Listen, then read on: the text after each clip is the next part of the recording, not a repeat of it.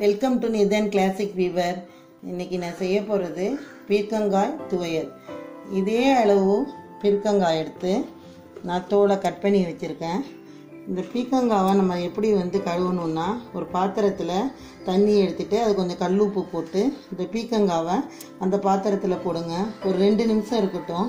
அப்புறம் எடுத்து நார்மல் வாட்டரில் வந்து கழுவிட்டு அப்புறம் தோல்லாம் கட் பண்ணலாம். ஏன்னா தோல் தான் நம்ம சமையலுக்கு யூஸ் பண்ண போகிறோம் இந்த மாதிரி கழுவிட்டா நம்மளுக்கு ரொம்ப நல்லது.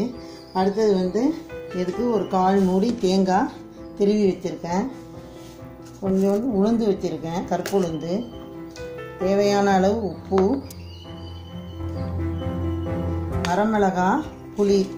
காரம் கம்மியாக வேணும்னா ஒரு மிளகா குறைச்சிக்கலாம். இன்னும் வேணுங்கிறவங்க ஒரு மிளகா சேர்த்து யூஸ் பண்ணிக்கலாம்.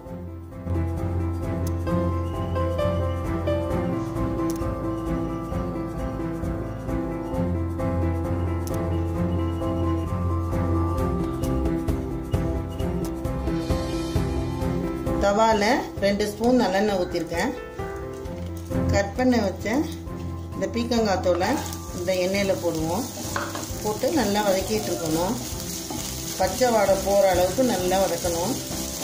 ஏன் நல்லெண்ணெய் யூஸ் பண்ணுறோன்னா துவையல் சட்னி வைக்கலாம். நல்லெண்ணெய் தான் நல்லா வாசனையாக இருக்கும்.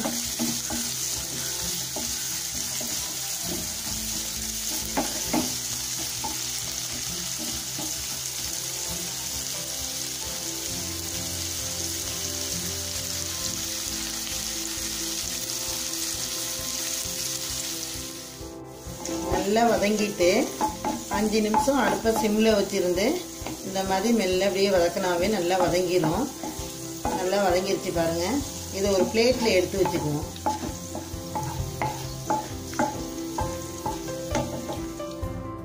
இந்த உளுந்தை போட்டு நல்லா வதக்கிக்குவோம். அடுப்பு சிம்லேயே இருக்கட்டும்.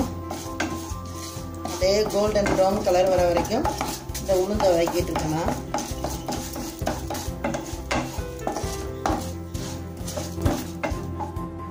கோல்டன் ப்ரௌன் கலரில் அப்படியே வந்துருச்சு. அப்புறம் தேங்காவை இதோட போட்டு அதையும் நல்லா வதக்குவோம். அடுத்த ஒரு தூக்கி விட்டுக்கலாம் தேங்காயெல்லாம் வதக்கிட்டு செஞ்சால் இந்த துவையல் வந்து கெட்டு போகாமல் இருக்கும். நீங்கள் காலையில் அரைச்சா கூட நைட்டு வரைக்கும் கெட்டு போகாது. கைப்படாமல் ஸ்பூன் வச்சு எடுத்தால் நல்லாயிருக்கும் அடுத்தது இதோட வரமிளகா புளி. அதையும் போட்டு நல்லா வதக்கிக்குவோம்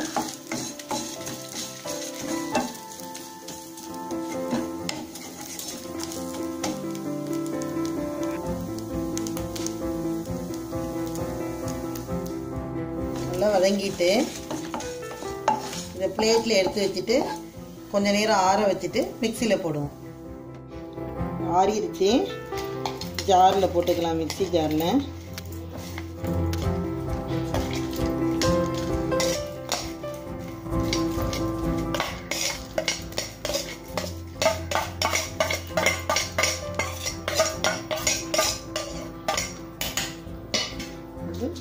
போட்டுக்கலாம்.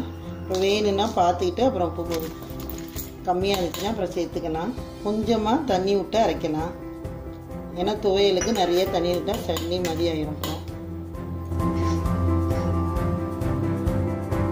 பீர்க்கங்காய் துவையல் ரெடி ஆயிடுச்சு.